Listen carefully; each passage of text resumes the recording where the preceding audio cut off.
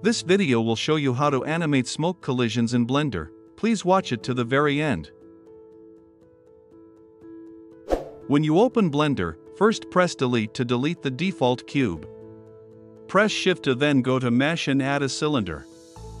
Now press tab to go to the edit mode.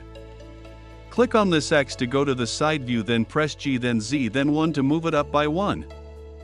Click on this Z to go to the top view then click on this icon to activate face selection then select this top face. Press I then 0.6 to insert it by 0.6. Click on this X again to go to the side view then press G then Z then 0.2 to move it up by 0.2. Press E then 0.1 to extrude it up by 0.1. Press E then S then 1.2 to extrude and scale it up by 1.2. Again press E then 0.7 to extrude it up by 0.7.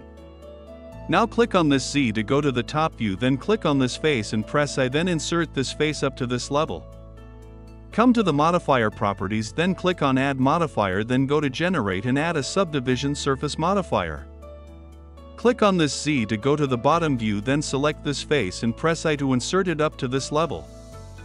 Click on this Y to go to the side view then press Ctrl R then click and move this edge loop up to somewhere here. Press Ctrl R again then click and move this edge loop down up to this level. Come to these faces also and press Ctrl R then click and move this edge loop up to somewhere here. Press Ctrl R again then click and move this edge loop up to somewhere here. Come to these faces then press Ctrl R then 2 then click and right click to add two edge loops here. Come to these faces as well then press Ctrl R then 2 then click and right click to add two edge loops to them. Click on this Y to go to the side view then press Ctrl R then click and move this edge loop up to this level. Press Ctrl R again then click and move this edge loop up up to this level. So come to these edge loops then press 3 to switch to face selection then press Alt and click here to select this entire face loop. Click on this Y to go to a side view then come up here and click on this icon to activate X-ray visibility. Press E and extrude them up up to this level. Zoom into these faces and press Ctrl R then 2 then click and right click to add two edge loops. Come to these faces as well then press Ctrl R then 2 then click and right click to add two edge loops here. Come to these faces also and press Ctrl R then click and move this edge loop up to somewhere here. Press Ctrl R again then click and move this edge loop up to somewhere here.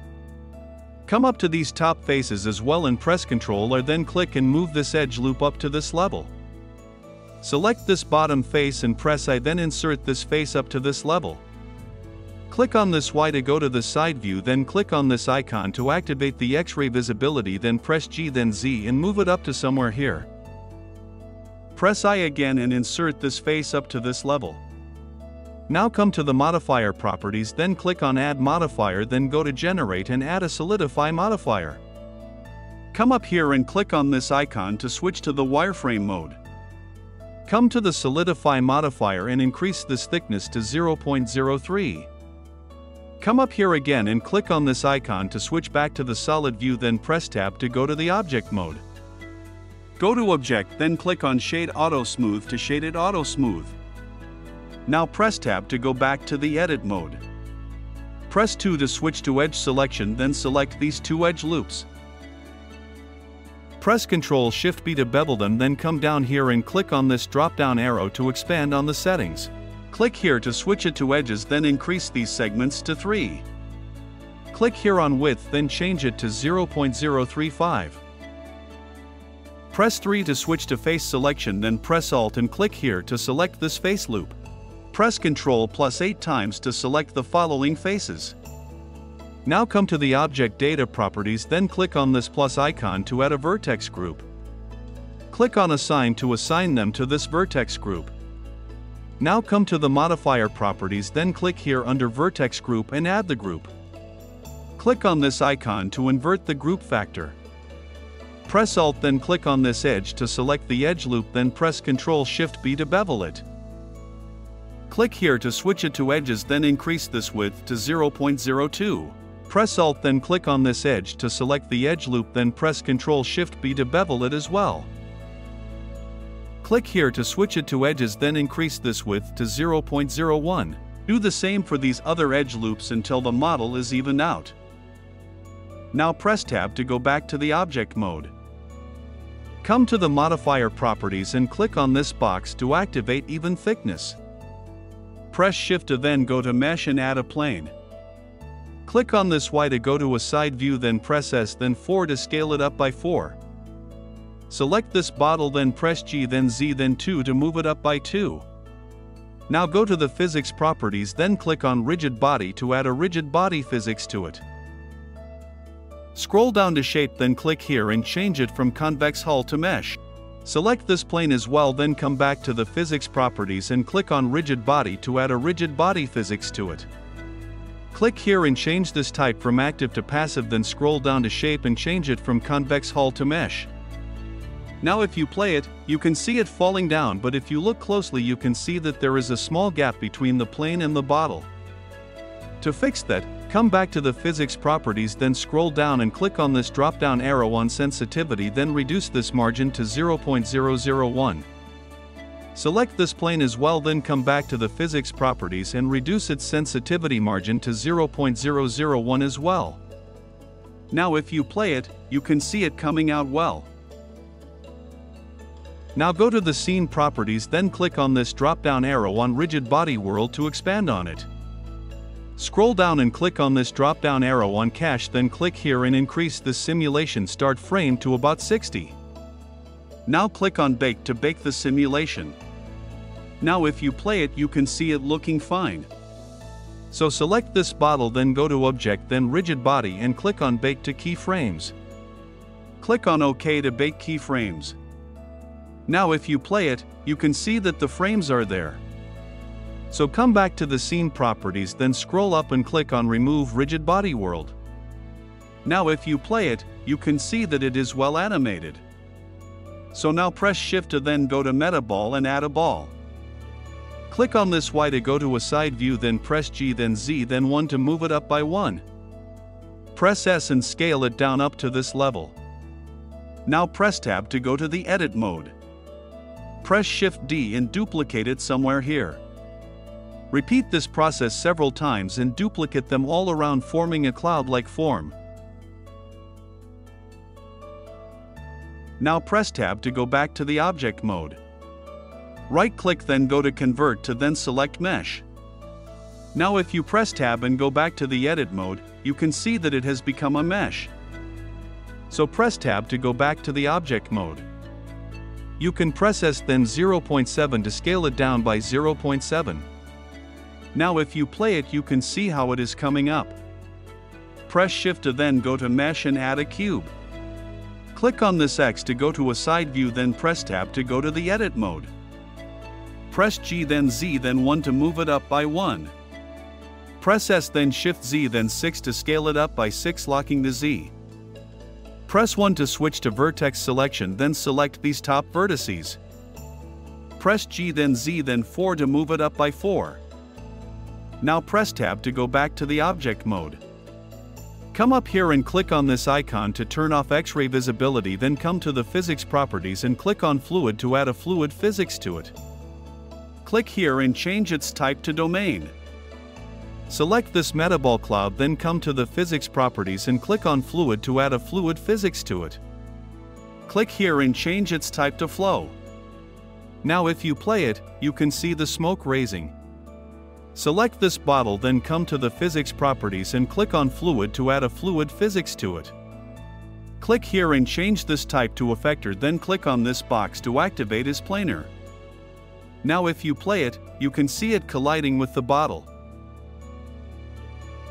So select this flow object then come to the physics properties and scroll down to flow source then click on this drop down arrow to expand on these settings.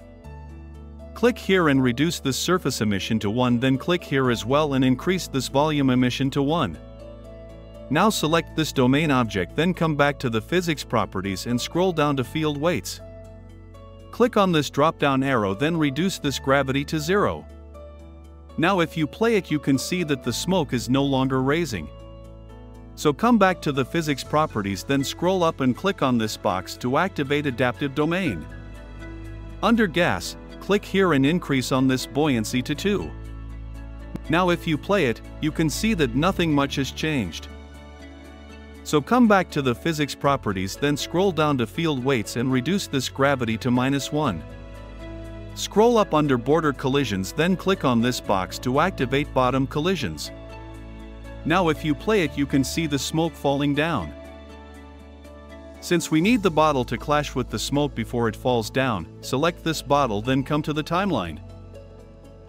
Select these keyframes then press G and move them to around the 20th frame. Now if you play it, you can see the bottle colliding with the smoke. Select this domain then come to the physics properties then scroll down and click on this drop down arrow on dissolve then click on this box to activate it. Now if you play it, you can see the smoke disappearing way too quickly. So come back to the physics properties and increase this dissolve time to about 40. Now if you play it you can see that it is now coming out well. So come back here and increase this to about 60. Now if you play it you can see it coming out well. So come back to the physics properties then scroll up and click here then increase this resolution to about 128. Now if you play it, you can see that it has become more detailed but it is no longer clashing with the smoke. So come to the physics properties and click here then reduce on this time scale to about 0.5. Select this bottle as well then come back to the timeline and press G then move these keyframes to around frame 10. Now if you play it, you can see it colliding strongly again. So select this domain then come back to the physics properties and scroll down to cache. Click here and change this type from replay to all then click on this box to activate as resumable. Click on Bake All to bake the simulation. Now if you play it, you can see that it hasn't come out well yet as expected. So select this flow object then come back to the physics properties then click here and reduce on this surface emission to 0.5. Click on this box to activate as planar. Select this domain then come to the physics properties and scroll down to cache then click on free all to free the bake. Scroll up under gas then click here and increase the buoyance to 4. So scroll down and click on Bake All to bake the simulation. Now if you play it, you can see it coming out perfectly. So come up here and click on this icon to switch to the render preview. Go to the render properties then scroll up and click here then change this render engine from Eevee to Cycles. Now come down here and click on this icon then change this area to a shader editor. Click here on New to add a new material then select this principled BSDF shader and press Delete to delete it. Press Shift A and go to Shader then add a principled volume shader node. Plug this volume into the volume on the material output node. You can click here on density and increase it to your liking. Click here on color as well then adjust it to your liking. And now we're done. You can now go ahead to work on your scene further in render. Thank you so much for watching this tutorial up to now, I really appreciate. If you found this video useful please consider subscribing to this channel and hit the notification bell so that you never miss out on our latest content. Also let us know what you want us to teach you about Blender in the comments, I promise we'll make a video. Have fun animating, I sign out.